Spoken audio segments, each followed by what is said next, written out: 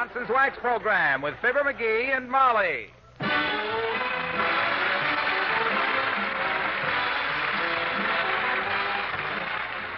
The makers of Johnson's Wax and Johnson's Water Repellent Glo-Coat present Fibber McGee and Molly with Bill Thompson, Gale Gordon, Arthur Q. Bryan, Dick LeGrand, Elvia Allman, Cliff Arquette, and me, Harlow Wilcox. The script is by Don Quinn and Phil Leslie.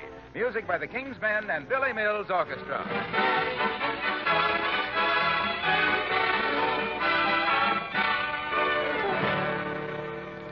And Molly join us in a moment. Whenever women ask our advice on the best care for fine wood floors, we always give the same answer. The best protection we know of for fine wood floors is regular waxing with Johnson's Paste Wax. Yes, Johnson's Paste Wax is the toughest, longest lasting floor wax we know about. And it takes and holds a polish that really brightens and glorifies any room. Floors protected by this tough, gleaming shield of shining wax don't lose their original beauty, even in homes where children's scuffling feet subject floors to constant wear. On the contrary, as time goes by, with regular wax care, the wood takes on a deeper, richer luster and becomes more beautiful with the years. Any woman who wants to give her wood floors the very best in floor care will wax them regularly with Johnson's Paste Wax. No other wax gives the same lustrous beauty in quite the same way.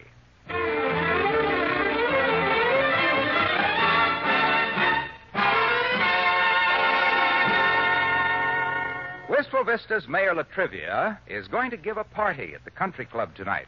And right now, he's busy in his office checking last minute details with his secretary. You're sure everyone on the list got an invitation, all right, Miss Gimlet? Did you check it carefully? Oh, yes, I mailed them all out last week, Mr. Mayor. All except. Well, there's one name here that I'm sure must be a mistake. A mistake? Who's that? I don't even like to mention the name, Mr. Mayor. The man always upsets you so. If you invite a blabbermouth like him, he'll. Uh, look, well, look, look, Miss Gimlet. I know the man you mean. And when you call him a blabbermouth, you're just being kind. Thank you. But his wife is a charming woman, and we'll have to send him an invitation. And maybe he can't make it. You should be so lucky. And the invitation come by special messenger, Molly. Good old LaTrivia. Probably figured a party wouldn't be a party without me. Just couldn't wait to invite me. My, I'm so lucky to know you, dearie. I get invited to more things just on your account. well, I happen to be the entertaining type guy that when somebody throws a dull party where they have to invite a lot of jerks, he naturally thinks of me first. Very modestly put, dearie. When is the party? Tonight at the country club. Let me see. It starts at 8 o'clock, and we. Uh oh. What is it? Oh, my gosh. If that ain't the. Well, the deal's off, kiddo. Forget it. We can't go. What? Why not? Oh. Don't tell me the mayor thought better of it and canceled the invitation on the back of it. Well, he, he might as well have it. The dad dreaded thing is formal, and that lets me out. You know how I feel about that stuff. Oh, I think that's wonderful, McGee. Huh? Look, I'll wear that new dress from Christmas. Oh. You know the one Dr. Gamble says I'll catch my death of cold in? Yeah, I know, and you look beautiful in it, but I'm not going to torture myself in any dad dreaded tuxedo again. I'm sorry, Tootsie. Let's skip it. Well, you're my lord and master, dearie. A woman's place is just to obey, I guess. Oh, now, gee whiz, cut it out, kiddo. You know I can't stand it. That's all right, dearie. Forget it. Oh, I shouldn't ask you to take me out formal tonight, anyhow, well.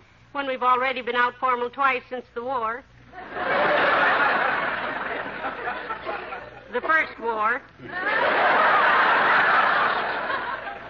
Well, gee whiz, but it wasn't perhaps I'll the when. keep busy. I'll go upstairs and wash out some of your Oh. socks like a good oh. wife. I'll... Oh, okay, okay. okay, you got me. Look, if you want to go to that, if you want to go that bad, I'm sorry I can't take it though. But I just thought of something. What? I got no tuxedo. I loaned it to Mort Toops last month. Remember? Oh, that's right, you did, but we can run over there and get it. And good old Mort is out of town. the dirty rat. well, I'd have took you if I could have, kiddo. But there's the breaks, I guess. Hand me the paper and let's just sit here and I'll relax. lend you your hat, dearie, and Huh? you're sweet to take me to the party tonight. What? Mrs. Toops is home, and she'll give us the tuxedo. Oh, now wait. We don't. She won't be. Uh, we can't. Back the car out while I put on my things. Uh, hold it, hold it, hold it, Molly. Come in, come in, come in. Oh, hello, Mr. Oldtimer. Hello there, kids. Hi, Johnny. Hi, daughter. Where are you going? Out? Yeah, but I'm in no hurry, old timer. Sit down. Well, I don't want to hold you up, Johnny. Everybody wonders what's been holding you up this long, anyhow. The mayor's giving a party tonight, Mr. Oldtimer, and we have to get McGee's Oh, tuxedo. I love parties, kids. Kind of runs in the family, I guess. Papa was a great party man. Yeah? Yeah. Papa used to be to his crowd what Mr. Churchill is to the conservatives. The life of the party. Ah, that's cute. But if you'll excuse us, we ought to be going. Oh, he was quite a card, Papa was. I mind the time he took one of them green metal shades off the hanging light over the pool table at the pool room and put it on his head upside down. Well, that must have been killing. Uh, funny part come later, Johnny. Oh? Papa was a little on the pin-headed side, you see, and the lampshade slipped down over his ears and stuck. Uh-oh. The boys couldn't get it off him, so they finally let him home with the shade sticking up there like a soup bowl on a lamppost. My gosh, what did he do? Saw it off? No, it looked pretty bad there for a while there, kids, till Mama got a wonderful idea. Yeah? She gave him a coat of white paint, planted his side pockets with ivy, filled up the lampshade with water, and got him a job in the park as a bird bath. well, it taught me one thing that I've never forgot, kids. What's that? Never throw trash in a bird bath, daughter. It might be somebody's papa. Go on,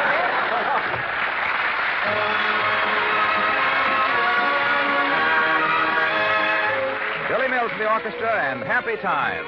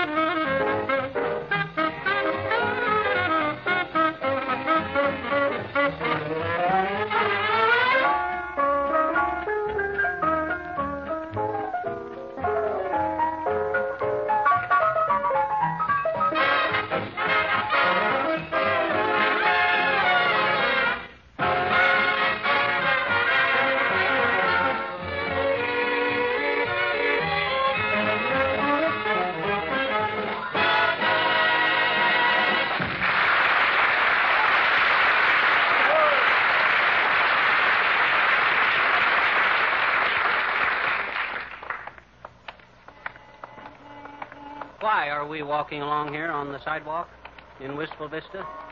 On our way to the dry cleaners? Mrs. Molly McGee?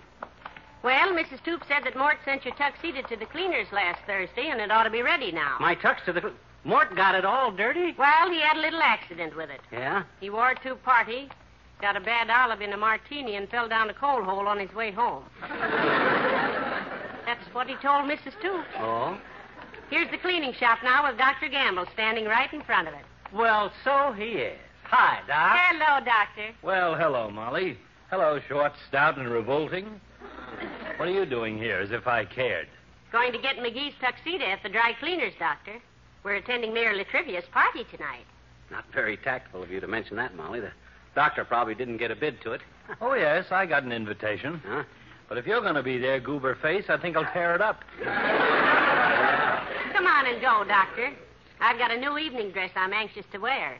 It's a lovely shade of green, sort of, uh, well, the kind of a, well, I wish I could think of something that would describe that particular shade. Oh, I know something, Tootsie. I can show you the exact shade of green it is. You can, McGee? How? Watch Doc's face. Doctor? What do you think of socialized medicine? I. Heavenly days, the exact shade. Here, Doctor, look in this little mirror. Isn't that a lovely green? Well, come on, Molly. We're wasting time. Uh. He won't be able to talk for 15 minutes. Uh. So long, Fishbone. Bye, Doctor. Uh.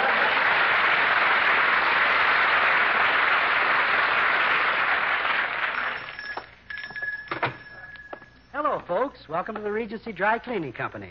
Had your clothes dry cleaned regently? Oh, brother. You must have had a contest for the worst possible slogan, Bud. That's enough to make a body buy a can of Energine and rinse out his own overcoat. Well, personally, madam, I think so myself. But I'm merely the boss's son in law. Oh. And if this is a sample of married life, I'm in favor of long engagements, and what can I do for you? I got a suit here, Buster. Want to pick it up? Yes, sir. The name? Tuxedo. And uh, what kind of a suit was it, Mr. Tuxedo? that is the suit, tuxedo. Well, my name is not Tuxedo, madam. That's this man's name here. Oh, my name is McGee. And where's Mr. Tuxedo? He was here a minute ago. That was my husband. Well, then who's this fellow? I'm him. Oh, oh, I'm sorry. For a minute there, I was a bit confused. My goodness, sir, that's perfectly all right. Well, thank you, madam. Now then, Mr. Tuxedo. McGee. No, sir, my name is Fosdick. Granville P. Fosdick. Have one of my cards. Oh? Take any one. That's it. I'll put it back of the rest of them without telling me which one because they're all alike anyway.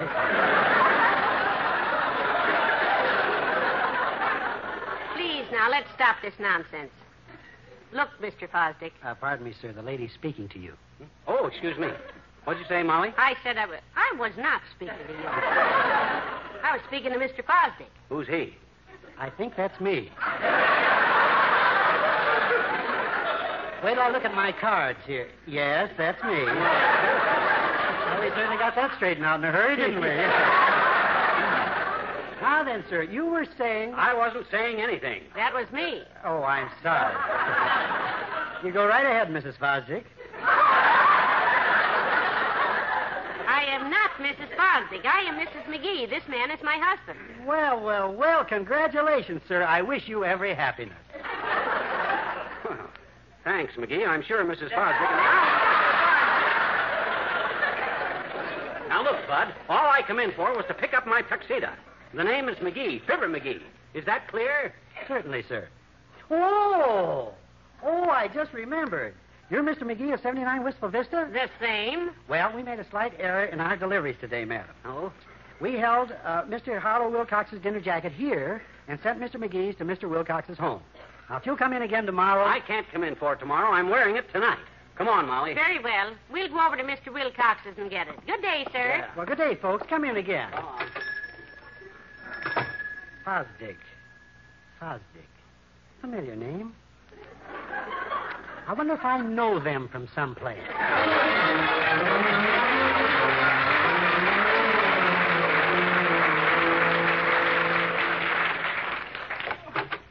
Hello, Mr. Wilcox. Hi, Junior. Look. this Well, well, well, this is a nice surprise. Come on in, folks. Make yourselves at home. Well, Gee thanks. whiz, this is a pleasure. Thanks. For 15 years, I've been coming over to your house, and now you drop in on me. Sit down, folks, sit down. We can't stay but a minute, Mr. Wilcox. Oh, all so we come over for, Junior, what's that? Oh, who cares what you came over for? The main thing is that you're here. Have a chair, Molly. Take that one there, the one that glitters. Good heavens, Mr. Wilcox, they all glitter. I never saw such shining, clean-looking furniture in my. Oh, my...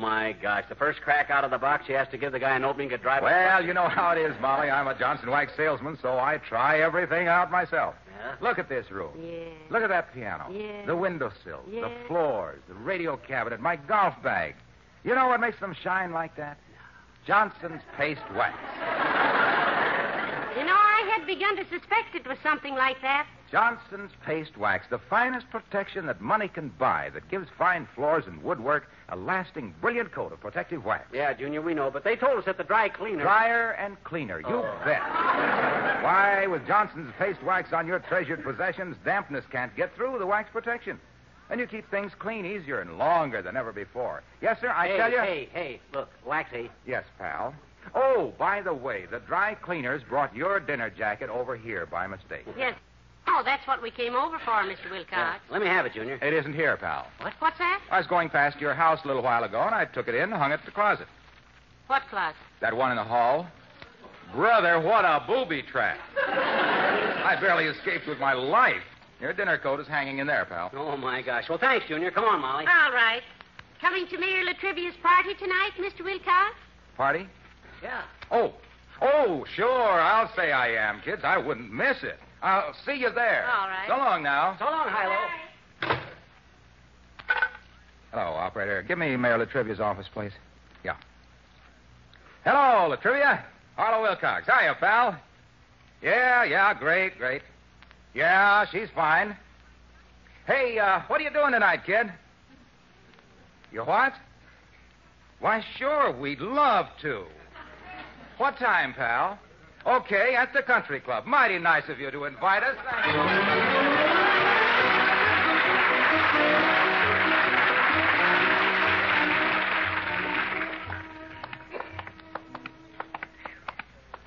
My gosh, what a chase.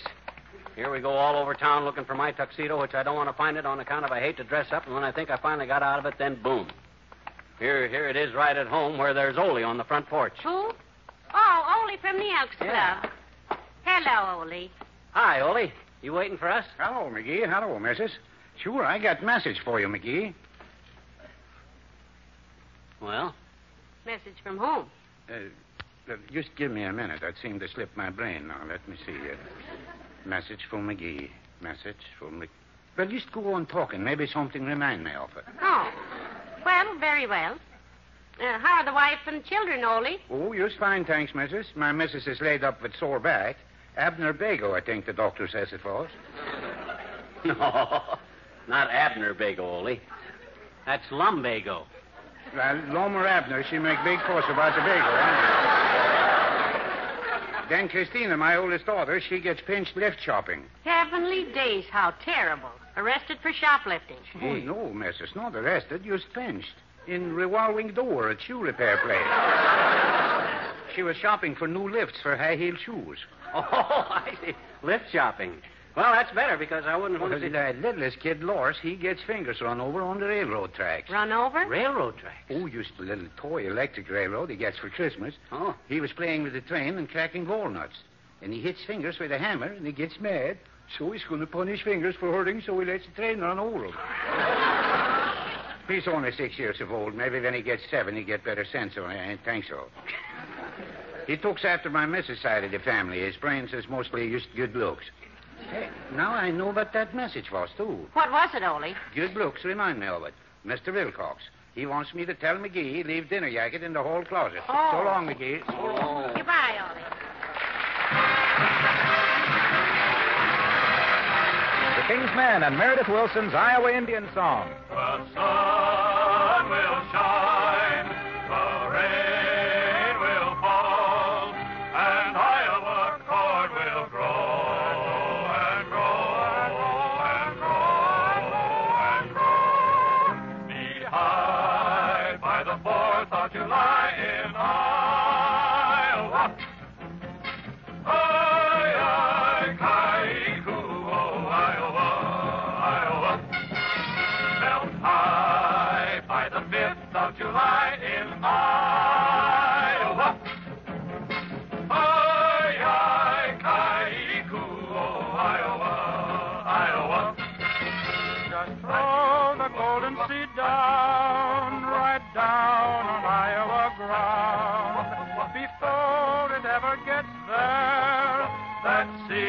will grow in midair.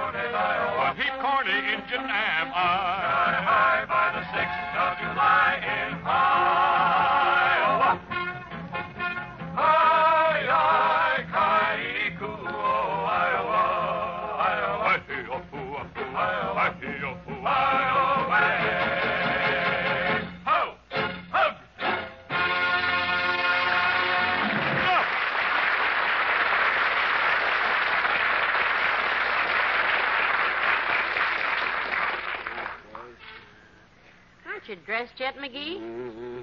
Hurry, dearie. We're late already. Now, we're not late enough for me, kiddo. Help me get this vest buttoned. All right. My, you, you look just lovely. Yeah, well, I don't feel lovely. I feel miserable. This dad ratted collar keeps peeling my Adam's apple. My chest itches, and I can't scratch it through this hard shirt. And the guy that invented clothes like this could have strangled himself tying his bow tie. He should have. My gosh, don't everybody? Now, now, you'll have a wonderful time tonight, dearie. Hand me that bow tie. I'll tie it for you. I'm not going to wear a bow tie. It's too uncomfortable. I'm going to wear my green knit. that way, when you look around the dance floor, you'll know which one your husband is, and you won't Hand have to... me the bow tie. And hold still. Mm, I'll know which man is mine, all right, because I'm not going to turn loose of your arm all evening. Ha ha, you're too cute. You're just saying that, aren't you? No, sir. When we walk into that country club, I'll be the proudest woman in the place because.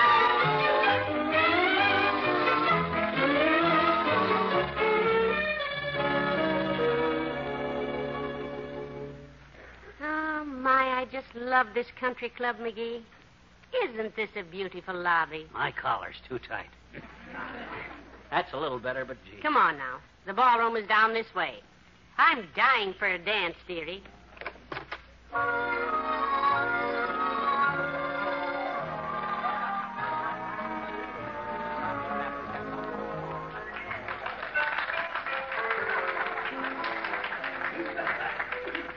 My gosh, quite a mob in here.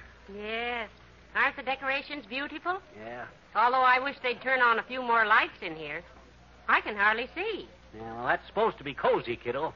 All these joints are lighted like they were designed for a family of moles. Maybe I can unbutton this collar till my eyes get used to the dark because nobody can Oh, see hello, me. Molly. I'm glad to see you. Hi, McGee. Oh, hello, Mr. Mayor. We're happy to be here, aren't we, McGee? One of us is.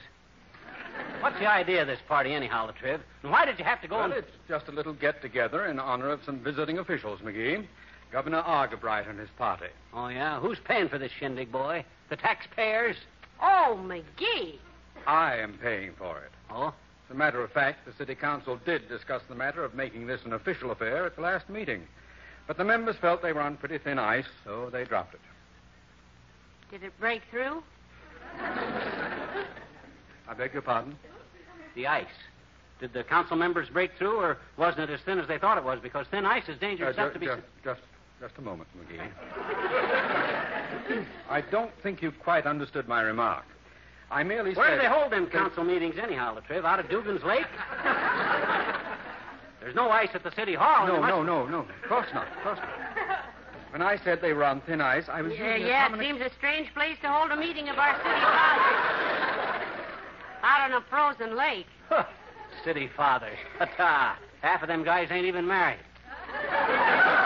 Besides, if they go skating when they're supposed to be running the city government, it's no wonder they fall down on the job all the time. Uh, now, slip wait, the wait, wait. Just a minute, please. Look, I merely said the city council had discussed having a party for the governor. At Dugan's And they- Lake. Yes, yes. Uh, no, no, no. Not at Dugan's Lake. Oh. The party was at City Hall. I mean, the council meeting was at City Hall. How could them guys get out on thin ice at the city hall? That's ridiculous. There's no ice around the city I city know, hall. I know, McGee. I know what he means. Thank heaven. Why, of course, Mr. Mayor. You simply got the council members together and held your meeting on the little fish pond outside your window. Oh! That ice is as thin as any ice oh. I... No, no, we did not fish the icing council on the meat pond. Fishing Icicle on the Mouncil cheating. Council greeting. Meeting. When I said the Mouncil timbers were on skin ice, a twin spice, on twice. Look, didn't you ever hear the expression, eating on thin skies? I didn't say that. You were the ones who said. Why did I was. We always get into one of. And I tried to. And it was not a matter of. But it.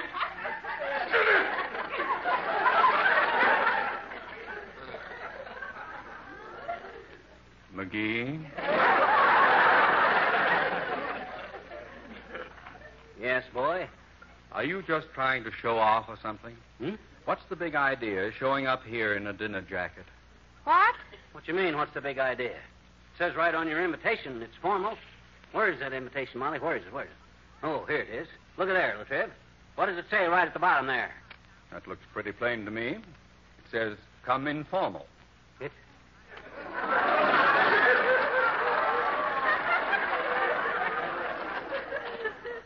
Is that what it says? My gosh. I thought it said come informal. Oh, no.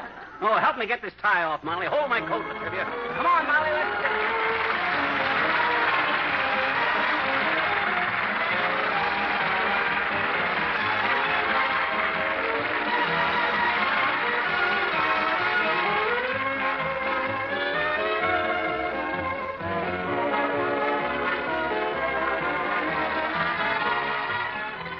and Molly return in a moment. Fine floors deserve fine care, and the finest care you can give a hardwood floor is to polish it regularly with Johnson's Paste Wax, which puts a gleaming shield of tough, long lasting wax over the floor itself, protects it from wear, makes it far easier to clean, and gives it the deep, lustrous beauty that only fine wax can give to fine wood. And remember, there's a really easy way to polish waxed floors. Ask your dealer about the Johnson Beauty Floor Electric Polisher. It's wonderful to use. The big whirling brush does all the buffing, while you merely walk along and guide, just like vacuuming a rug. You can buy this polisher at low cost or rent one by the day if you prefer. Get Johnson's Paste Wax at your dealer's tomorrow and ask him about Johnson's Beauty Floor Electric Polisher.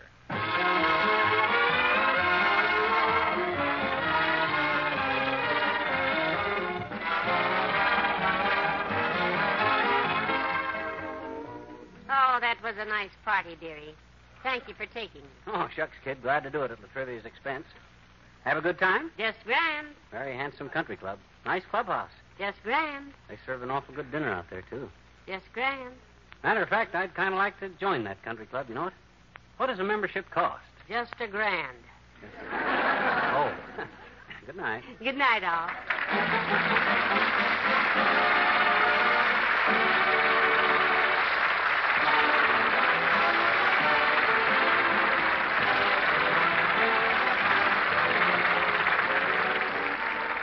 Makers of Johnson's Wax and Johnson's Water Repellent Glo-Coat, Racine, Wisconsin, and Brantford, Canada, bring you Fibber McGee and Molly each week at this time. Be with us again next Tuesday night, won't you? Here's the sensational new laundry finish that makes ordinary starching old fashioned. Here's Brisk, B R I S K, made by the makers of Johnson's Wax. Brisk is not just a starch, but a miracle starching mix that contains a marvelous new ingredient fabric wax. It's better than starch in four wonderful ways. It restores the body and texture clothes had when new, gives that crisp look without that scratchy feel, keeps clothes 8 o'clock fresh all day long, cuts 15 minutes from every ironing hour on brisk finished garments. Easy to use, no cooking, no boiling. Tomorrow, get Brisk, B R I S K, at your dealers. It's the only laundry finish that contains miracle fabric wax.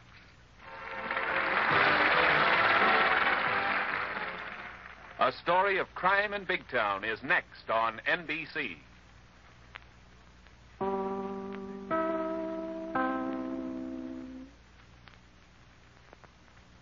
WMAQ and WMAQ FM, NBC in Chicago.